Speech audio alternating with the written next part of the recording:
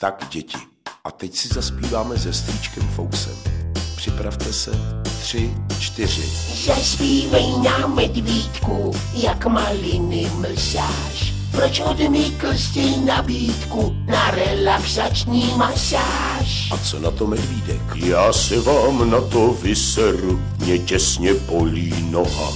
Včera navštívil jsem operu a v půlce vzal jsem roha. Nic vám zpívat nebudu, já smutný život vedu. Rád se dám večer u sudu, který je plný medu.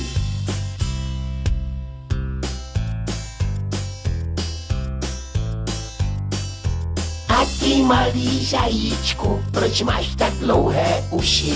A čím si mažeš tlamičku, že tě to tak sluší? A zajíček povídá. Já našel v lese hovínko nedaleko dubu. Zředil jsem ho malinko a tím si mažu hubu. Doufám, že tam pro pána ještě nějaké bude. Budu tam číhat od rána, kdo se tam vysrat půjde.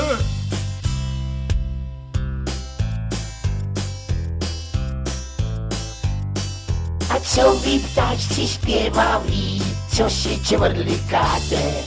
Když vás chodit nebaví, tak furt někde lítáte. A ptáčkové na to. My máme svoji kapelu, zpíváme z plných hrdel. Obzvlášť takhle k večeru, tak polipte nám prdel. Datel je náš kapelník a včera ztratil noty. Nablil plnej popelník a nachcal si do boty.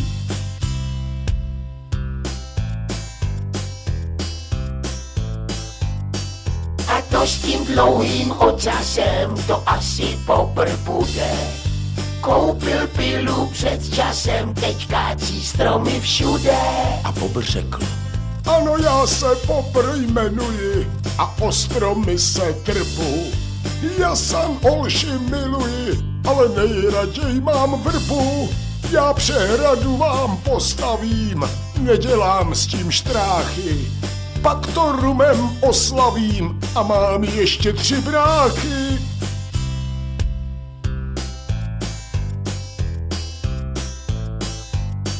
My viděli jsme ve verku, ostré zoubky měla.